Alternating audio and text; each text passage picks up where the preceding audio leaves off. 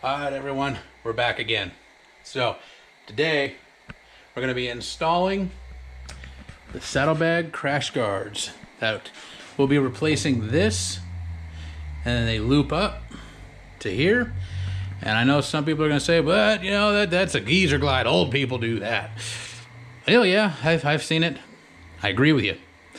For old people, but sometimes function outweighs form, and the fact that uh, you know when I lay my bike down again, say drop it, it's probably more likely, because let's be honest, I've dropped her once or twice. Never while going real fast. Hell, once, not while going at all. Kind of forgot to put the kickstand down. Don't laugh too hard. Some of you have done it. No alcohol was involved. So, at least in my mind, it's not going to be so bad because the ones I got are black. And I know the front crash guard is chrome, so it seems kind of weird to go black in the back. But my theory is they're going to blend in pretty well. So yeah, they're going to be there, but they're going to be less noticeable because they're not just going to be popping out at you, just screaming, I'm chrome, look at me. So, in the box, which, that's the box, is a nesting nesting doll of other boxes. Box here, box here, box here, all within that box. So, but everything came pretty well wrapped. Here's the actual crash guards themselves. Here's our hardware's bag, hardware bag. Here's our new bottom rails. So we're gonna have to pop off the ones that are there. Pop these on. This end goes in there. And then this end bolts to the top frame of the bike. This bolts somewhere else. We'll find out. I've never done this before. So the tools that we're going to need is going to be, I'm going to use a 3 8 inch ratchet. And we've got a 9 16 and half inch combination wrench, or box wrench, or whatever you want to call it. Going to be using a T40 and a T45. Now I need this, not that you guys will, unless you're like me and, and have the chassis lights. So I'm going to have to cut some zip ties. So got my snips, my handy bag of zip ties. We're going to get that replaced because under this rail, you can probably see the zip ties, is an LED light strip under here. We're going to peel that off, swap this out, put the light strip back on. I'm going to put the zip ties back on there because, you know, better safe than sorry. I did it the first time and now that I'm going to be reusing them, seems like a good idea to maybe put a zip tie on each end again and then maybe one in the middle just to make sure everything holds up, especially once uh, the heat shows back up in town. And heat and adhesive don't normally go well together. But at least now we get a nice shot of those uh, tab four and a half inch BAM sticks. Sounds so mean. All right, so I'm gonna ended before just shuffling you guys off to the tripod on your own.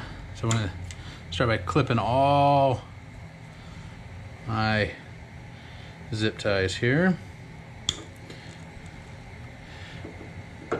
I do like zip ties. So much so that I'm gonna have to order some more.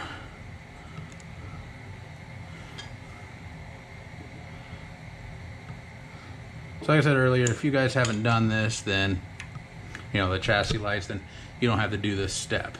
So now let's go ahead and slide you out of the way because I'm going to need two hands to peel this off.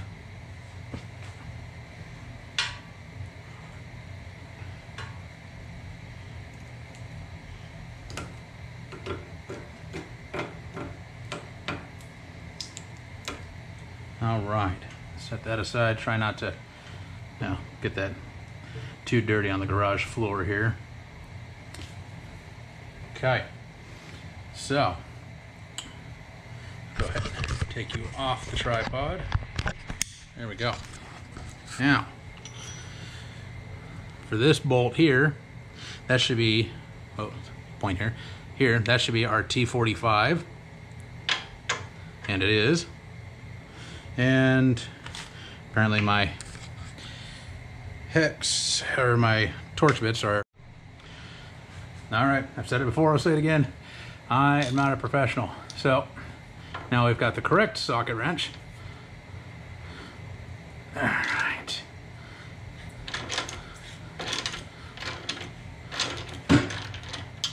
And bash my finger. All right, so we'll keep going on that.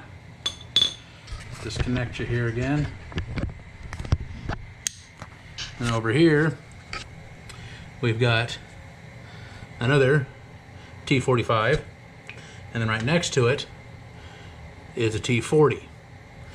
Now, in addition to that, we also have a nut here, which is where our combo wrench comes in. That's going to be the 9 16ths. And then on the other side, I'm to be able to get the camera over there. But if you can see it, right about here, it's the other nut. And that's going to be your half inch. So, and we're going to have to go ahead and pull these two bolts so everything just kind of drop off. Just going to drop the, those, not going to do anything up here. So the muffler's just going to hang free for a little bit uh, while we get everything swapped over. And these uh, are half inch.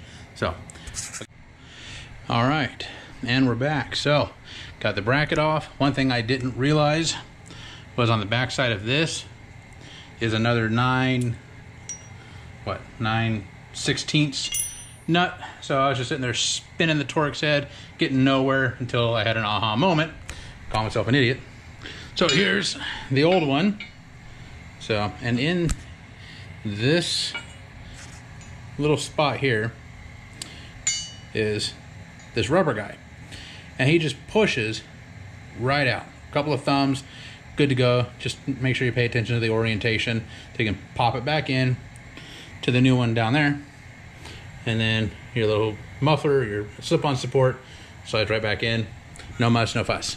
So we'll get that back on there and we'll be back. All right, and we're back again. Just got the bar on all the way down and around, across and back in. Now, Harley, for whatever reason, they give you more than enough bolts and nuts and everything in, in this bag here to replace every bit of hardware in this process. I don't know why. Sure as hell not going to complain. But I just went ahead and reused what I had. We'll hold on to these for a rainy day just in case. Now, one thing I, I don't know why I didn't account for is this guy here. He is a 3 16 Allen head, or hex head, or whatever, and a 7 16 nut on the backside connecting this sleeve to this rod. It makes sense. Just didn't occur to me that we'd have to have, have a mechanical connection there. So it's looking good. It's feeling solid. So I'm going to go ahead and uh, get my LED strip reattached, tackle the other side. Next time you see it, the bags will be back on and we'll get a quick final look on it. All right, that's it. Everything's back together.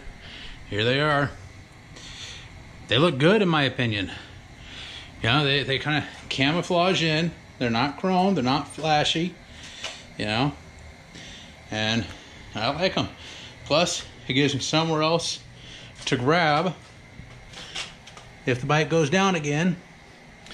You know, gives me something that protects my bags in the event that it goes down again. I've been lucky so far the two times I've set it down, not damaged anything other than like my pride or a little bit on the saddlebag or floorboard bracket. But all in all, real quick, real simple. Took me, I don't know, excluding video time, 45 minutes. So something real easy with a basic socket set. So anyway, that that's it. Takes care of it.